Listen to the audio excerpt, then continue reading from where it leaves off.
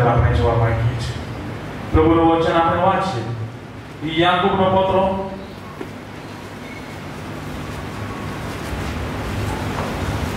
યાકુબનો પત્ર. એનો પહેલો અધ્યાય.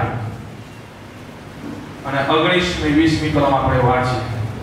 મારા વહાલા ભાઈઓ, તમે એ જાણો છો, દરેક માણસ સાંભળવામાં ચપળ, બોલવામાં ધીમો તથા ક્રોધમાં ધીરો થાય. કેમ કે માણસના ક્રોધથી દેહનો ન્યાય કોનો પાર કરતું નથી. હાલેલુયા. હાલેલુયા. પ્રભુનું વચનની અંદર આપણને લખવા છે લખવામાં આવ્યું છે એ ત્રણ બાબતો પર હું ટૂંકું ટૂંકું મનન કરાવવા માંગુ છું.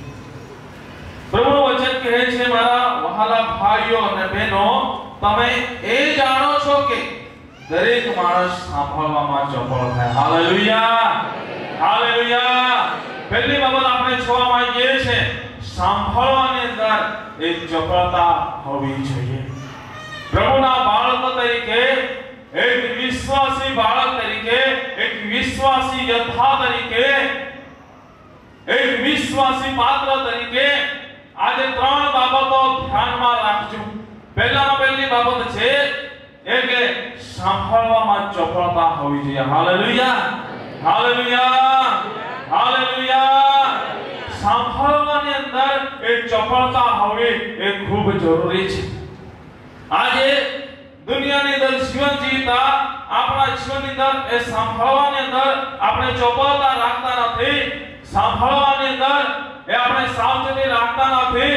પણ જે બોલવામાં આવે એને આપણે ગ્રહણ કરી લઈએ છે એ કડવો બીજ છે કે સારો બીજ છે એ આપણે ધ્યાન આપતા નથી, પણ એને આપણે પડી જવા દઈએ છે.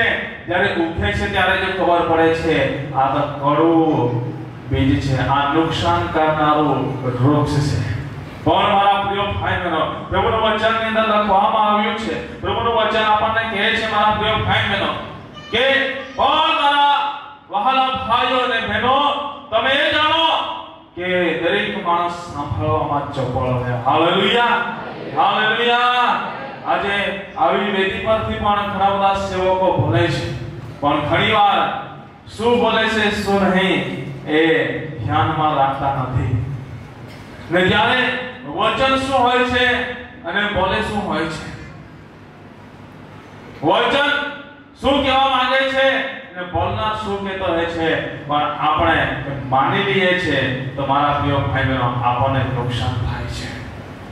કેમ કે દરેકને પ્રભુએ કાન આપ્યા છે. હાલેલુયા. હાલેલુયા. કોને કાન નથી આપ્યા? બધાને કાન આપ્યા છે ને? તો આપણે સાંભળવામાં ચોપાળ હોવા જોઈએ.